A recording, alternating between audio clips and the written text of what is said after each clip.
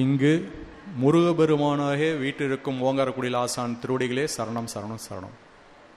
ஆடி மாத பௌர்ணமி விழாவுக்கு வரைய புரிந்திருக்கும் உள்நாட்டு வெளிநாட்டு அன்பர்களுக்கும் ஆன்மீக அன்பர்களுக்கும் தாய்மார்களுக்கும் பெரியவர்களுக்கும் அடியனுடைய பணிவான வணக்கத்தை தெரிவித்துக் கொள்கிறேன். அடியனுக்கு எப்பெல்லாம் பேச வாய்ப்பு அளிக்கிறார்களோ அப்பெல்லாம் குருநாதர் நிகழ்த்திய அற்புதத்தை உண்மை சம்பவத்தை உங்கள்கிட்ட பகிர்ந்துட்டு இருக்கோம். இன்றைய நிகழ்வு பார்த்தீங்கன்னா கரூரை சேர்ந்த பழனிச்சாமி அவருக்கு ரெண்டாயிரத்தி பத்தில் ஏற்பட்ட அனுபவத்தை தான் இப்போ உங்ககிட்ட பகிர்ந்துக்க போகிறோம் அவர் ரெண்டாயிரத்து பத்தில் கோவையில் ஒரு கம்பெனியில் வேலை செஞ்சார். குடும்பத்தோடு அங்கே இருந்தார். அவர் என்றைக்கு குடிலுக்கு வந்து அறிமுகம் ஆனாரோ அன்றையிலிருந்து தினமும் சித்தர்கள் போட்டி தோப்பு பாராயணம் செய்து பூஜை செய்யக்கூடிய பழக்கத்தை அன்றையிலிருந்து இன்றைய வரைக்கும் வச்சிட்ருக்காரு. அது மட்டும் இல்லை எப்பெல்லாம் வெளியே போனாலும் அவரோட சட்ட பையில் சித்தர்கள் போட்டி தோப்பு கையேடு சின்ன கையேடு இருக்கு இல்லையா? இருக்கும். அவர் வீட்டில் நாலு சட்டை தொங்கியிருந்தாலும் இந்த நாலு சட்டையிலுமே இருக்கும். அந்த பழக்கத்தை ஆரம்பத்துலேருந்தே அவர் அப்படியே கை கடைபிடிச்சிட்டு வந்துட்டுருக்காரு பழனிச்சாமி. அவர் ரெண்டாயிரத்தி பத்தில் வந்து குடும்பத்தோடு தான் அங்கே தங்கி வேலை செய்கிறாரு அந்த கம்பெனி வந்து வெளிநாட்டுக்கு வால்வு மேனுஃபேக்சர் பண்ணி ஏற்ற பண்ணி ஏற்றுமதி செய்யக்கூடிய கம்பெனி. அந்த வால்வு உள்ளே வந்து ஒரு ஷாஃப்ட் வரும். அந்த ஷாஃப்ட் வந்து ஸ்கில்டு லேபரால் மட்டும்தான் அதை வந்து கிரைண்ட் பண்ண முடியும். ஏன்னா அந்த கிரைண்ட் பண்ணக்கூடிய மோட்டர் வந்து ரெண்டாயிரத்தி இரநூறு ஆர்பிஎம். ரொம்ப ஹை பவர் மோட்டர் ரொம்ப துல்லியமாக செய்யணும். கொஞ்சம் கிரைண்டிங்கை வந்து கம்மியாக பண்ணாலும் ஷாஃப்ட் வால்வில் பொருந்தாது இந்த ஷாஃப்ட்டு அதிகமாக பண்ணாலும் அது சரியாக வராது. அது ரிஜெக்டட் ஆயிடும் அது கம்பெனிக்கு வந்து லாஸ் அதனால் ஸ்கில்டு லேபருக்கு மட்டும்தான் அந்த இடத்துல போடுவாங்க. ஒரு நுட்பமான வேலையை அவர் செஞ்சுட்டு வந்தார். அதனால அவருக்கு மாத சம்பளம் அப்போவே பார்த்தீங்கன்னா நாற்பதனாயிரம் கொடுத்தாங்க. அவர் தொடர்ந்து இந்த கிரைண்டிங் வேலையை தினமும் வெற்றிகரமாக செஞ்சுட்டு வந்துட்டு இருந்தார். ரெண்டாயிரத்தி பத்தாம் ஆண்டு ஒரு செப்டம்பர் மாதம் காலையில் ஒரு எட்டரை மணிக்கெலாம் ஃபேக்ட்ரிக்கு போய் வேலையை ஆரம்பிச்சிடுவார் அப்படி செஞ்சிட்டு இருக்க பார்த்தீங்கன்னா அந்த கிரைண்ட் பண்ணிட்டு இருக்காரு. அன்றைக்கு தான் ஒரு பதினொன்றரை மணி இருக்கும். அவருக்கு அவர் வாழ்க்கையில் ஒரு பெரிய ஒரு துரதிருஷ்டமான ஒரு நிகழ்வு அப்போ நடக்குது. அவர் கிரைண்ட் பண்ணக்கூடிய கிரைண்டர் வந்து அந்த மோட்டர் வந்து முன்னாடி வந்து ஒரு வீலை பொருத்தி பொருந்திருப்பாங்க. அந்த பின்னாடி இருக்க பகுதியை பிடிச்சி தான் வந்து கிரைண்ட் பண்ணணும். அந்த முன்னாடி இருக்க வீல் வந்து ஒரு ஷாஃப்ட் ஒரு ராடில் வந்து பொருந்திருக்கும். அது உடையிறதுங்கிறது இது வரைக்கும் யாருமே கேள்விப்பட்டதில்லை. ஆனால் இவரோட துரதிருஷ்டம் அன்னைக்கு இவர் கிரைண்ட் பண்ணிட்டு இருக்கும் போது அது உடஞ்சிடுச்சு. அது உடையாது உடையும் போல அந்த வீல் வந்து கொஞ்சம் வெயிட்டாக இருக்கனால பக்கத்தில் சுற்றி வேலை செய்கிறாங்க யார் மேலேயாவது பட்டுடும் அப்படின்னு அதை உடஞ்சதை கூட அவர் பார்க்கல. அது யார் மேலே பற்றக்கூடாதுன்னு நினைச்சாரு. நினைக்கும் போதில் என்ன ஆச்சுன்னா அவர் பிடிச்சிட்டு இருந்த அந்த மிஷின் வந்து இப்படி பிடிச்சிட்டு இருந்தது வந்து தன்னை அறியாமையே இப்படி திருப்பிட்டார். திருப்பினவனையுமே நேராக அவரோட நெஞ்சில் குத்தி பெரிய ஒரு தொலையை போட்டுருச்சு. அந்த மிஷினை வந்து நம்ம நேரடியாகவே அந்த வீல் இல்லாமல் வச்சோம்னா அஞ்சு நொடி பொழுது தான் பின்னாடி பக்கம் வந்துடும் நம்ம முன்னாடி வச்சோம்னா பின்னாடி வந்துடும் அவ்வளோ ஹை பவர் அவர் நெஞ்ச துளை போட்டோனுமே அந்த ரத்தம் பீச்சு அந்த அடித்து அந்த அந்த இடம் பூராமே ரத்த கலரி ஆயிடுச்சு. அவர் சட்டை கிட்ட பூராமே பிச்சு எடுத்துருச்சு. அந்த ரத்தத்தை பார்த்தோன்னே அவர் அப்படியே மயங்கி கீழே சரிஞ்சிட்டார். பக்கத்தில் வந்து என்ன நடக்குதுன்னு கூட மற்றவங்களுக்கு ஒரு அவகாசம் கூட கிடையாது. என்ன நடக்குது இதுக்கு என்ன செய்யலான்னு கூட யாருக்கும் ஒரு ஒரு யோசனை பண்ணுறதுக்கு முன்னாடி இவ்வளோ நடந்து முடிஞ்சிருச்சு ஒருத்தர் மட்டும் சமோஜனமாக போய் இதுக்கு வரக்கூடிய எலக்ட்ரிசிட்டி பவர் சுவிட்ச் இருக்குல்ல அந்த சுவிட்சை ஆஃப் பண்ணிட்டார். இல்லைன்னா இன்னும் நிறைய விபத்து நடந்திருக்கும்.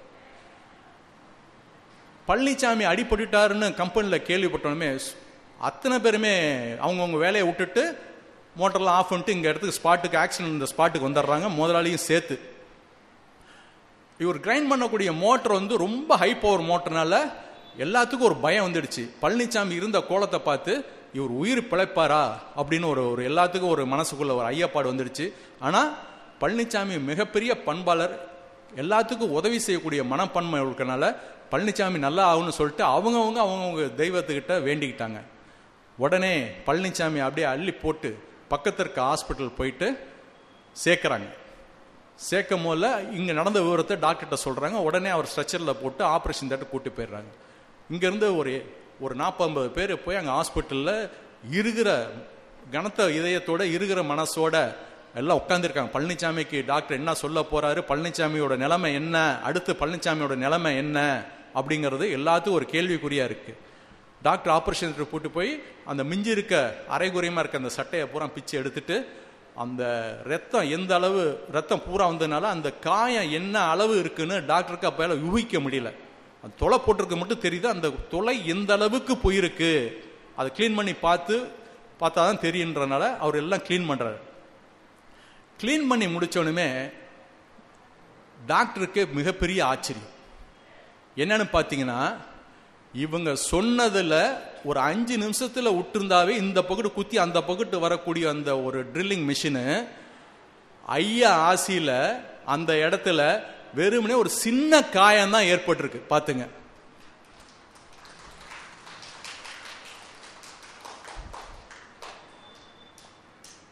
அங்க வந்து அவர் வந்து வந்து குத்துன இடம் பேக்கெட்டுனால சிதறல் போட்டி தோப்பு அவருக்கு அங்க கேடயமாக தடுத்து விட்டுச்சு.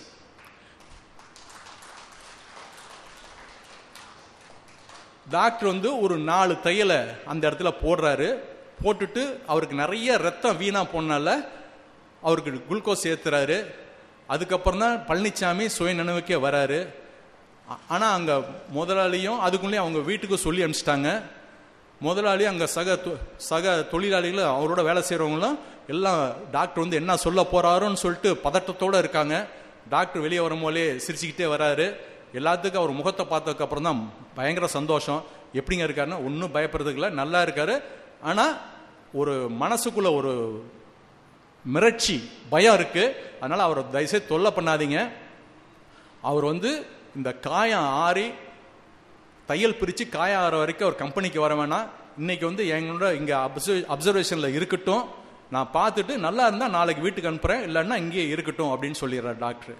அதே மாதிரி அவங்க கம்பெனி முதலாளியும் நீ நல்லா ஆயிட்டு வாப்பா அவசரப்படாத இன்னைக்கு ஹாஸ்பிட்டலில் இருன்னு சொல்லிட்டு அங்கே ட்ரீட்மெண்ட் எடுத்தார். மறுநாளே ஐயா நல்லா இருக்கிறனால அவர் வீட்டுக்கு போயிட்டார்.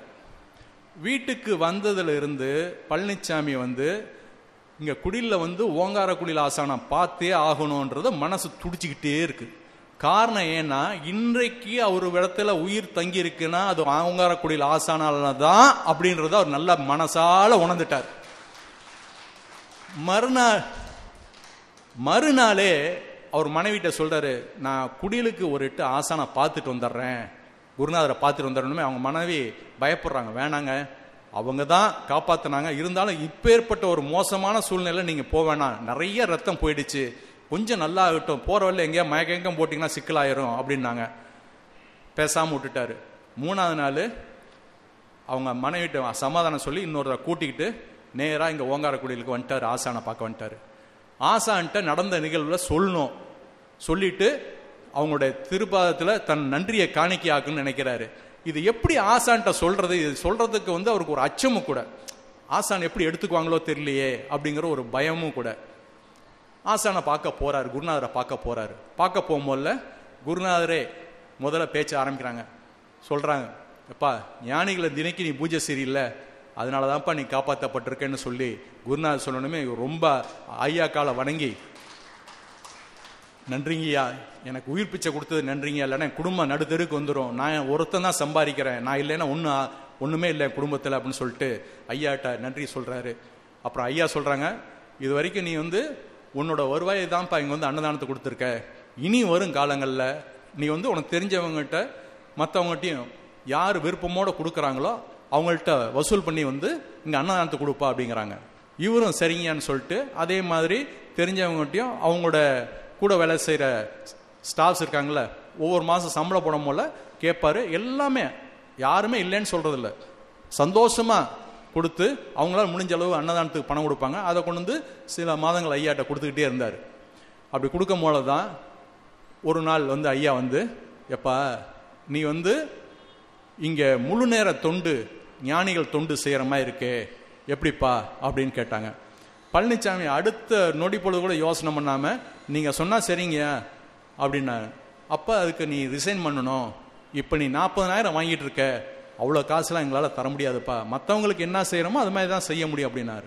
ஐயா சொன்னாங்க நீங்கள் என்ன சொல்கிறீங்களோ அது மாதிரி செஞ்சிடறீங்கன்னு சொல்லிட்டு அவருடைய வீட்டுக்கு போய் அவர் துணைவியார்கிட்ட நடந்த விவரத்தை சொல்கிறாரு அவங்களும் இன்முகத்தோட இன்னைக்கு நீங்கள் உயிரோடு இருக்கிறது ஓங்காரக்குடியில் ஆசைனால தான். அவங்க காட்டிய பாதையில் நீங்கள் போங்க.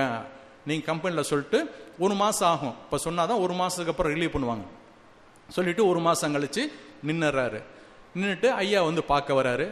ஐயா சொல்கிறாங்க அடுத்த ஸ்டெச் பாருங்கள் ஒருத்தருக்கு வந்து ஒவ்வொரு படியாக கொடுக்குறாங்க. முதல்ல வந்து அன்னதானத்துக்கு வந்து அவர் வசூல் பண்ண சொல்கிறாங்க அடுத்தது பார்த்தீங்கன்னா இப்போ நீ ஒரு ஐம்பது ஞானத்தினுடைய புஸ்தகம் வாங்கிட்டு உனக்கு தெரிஞ்ச இடத்துலாம் போய் அதை விற்பனை செய்ப்பா அப்படிங்கிறாங்க. ஆனால் ஐயா சொன்ன மாதிரி ஐம்பது ஞானத்தினுடைய புஸ்தகம் வாங்குறார வழிய இவர் போய் கொடுக்கறதுக்கு விற்கிறதுக்கு வந்து கூச்ச சுவாபம் அது எப்படி போய் அணுகி கேட்கறது அப்படின்றது இவர் கோயில் வாசலில் போய் பார்த்து அவருக்கு மனசில் பிடிச்சவங்களுக்காக கொடுத்துட்டு வந்துடுறாரு இப்படியா சில மாதங்கள் போச்சு. அப்புறம் ஐயா அடுத்த கொஞ்சம் மாதம் கழித்து ஐயா சொல்கிறாங்க எப்பா நீ வாங்கி கொடுக்கறது ஐம்பது புஸ்தகம் வாங்கி இலவசமாக கொடுக்கறது தப்பு கிடையாது. நீ புண்ணியவன் ஆகிற. நாங்கள் நினைக்கிறது வேற. நீ மற்றவங்களுக்கு கொடுத்தீன்னா நீயும் புண்ணியவனாக பத்து ரூபா கொடுத்து வாங்கினா அவங்களும் புண்ணியவனாக. நிறைய பேர்த்த புண்ணியவன் ஆக்குப்பா அப்படின்றாங்க ஐயா. சரிங்கயான்னு சொல்லிட்டு அந்த மாதமே ஐம்பது புஸ்தகம் வாங்கி கொடுத்தாரு.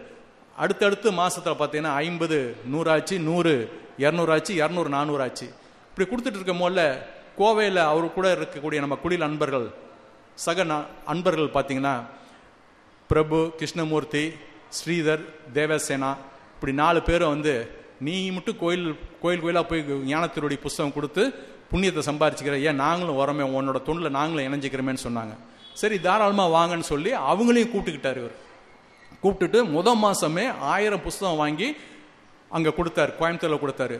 வரும் நாட்களில் பார்த்தீங்கன்னா அந்த ஆயிரமே ரெண்டாயிரம் ஆச்சு ரெண்டாயிரம் நாலாயிரம் ஆச்சு நாலாயிரம் எட்டாயிரம் ஆச்சு எட்டாயிரம் பத்தாயிரம் புஸ்தகம் பல மாதங்களாக கொடுத்துருக்கிறாரு பார்த்துங்க ஒரு புஸ்தகம் கொடுக்கறதுக்கு நம்ம யோசனை பண்ணுறோம் பத்தாயிரம் புஸ்தகம் தொடர்ந்து கொடுத்துருக்காரு.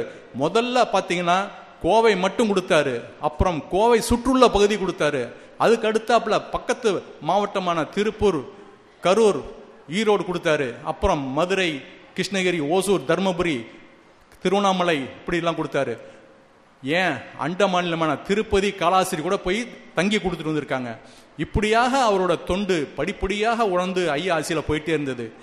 அது மட்டும் இல்லாமல் அடுத்தது அடுத்த பணியை ஐயா வந்து நியமிச்சு கரூரில் வந்து நீ கஞ்சி காய்ச்சி கொடுக்கணுன்னாங்க இப்போ கரூரில் வந்து முழு நேர தொண்டாக வச்சு அவ குடும்பத்தோடு அங்கேருந்து அங்கே கஞ்சி காய்ச்சி கொடுத்துட்ருக்காரு அன்னதானம் செய்கிறாரு எங்கெல்லாம் திருவிளக்கு பூஜை நடக்குதோ அங்கேயும் அவரும் அவர் டீம் வந்து இங்கே வந்து தொண்டு செய்கிறாங்க இன்றைக்கும் பார்த்தீங்கன்னா ஒவ்வொரு பௌர்ணமிக்கு அன்னைக்கும் இங்கே ஓங்காரக்குள்ளே வந்து தொண்டு செய்கிறாரு ஏன் இதெல்லாம் உங்ககிட்ட சொல்கிறேன்னா இன்றைக்கு பழனிசாமி உயிரோட இருக்கிறாருன்ற பார்த்தீங்கன்னா அவர் வந்து ஐயா ஆசியாவில் தான் உயிரோடு இருக்காருன்ற உங்களுக்கு கொண்டு சொல்லி அவருக்கு அன்னைக்கு ஏற்பட்ட தெலும்பு இன்னைக்கும் அவர் ம- நெஞ்சில் இருக்குது பார்க்கலாம் வடுவருக்கு ஆகையால் நீங்களும் ஐயாவுடைய திருநாமத்தை சொல்லி ஐயாவுடைய திருவிடை பற்றி மாதம் இருவருக்கு அன்னதானம் செய்து நீங்களும் உங்கள் வாழ்க்கையில் எல்லாம் நலவும் பெற வேண்டும் கூறி பேச வாய்ப்பளித்த குருநாருக்கு நன்றி கூறி விடைபெறுகிறேன். நன்றி வணக்கம்.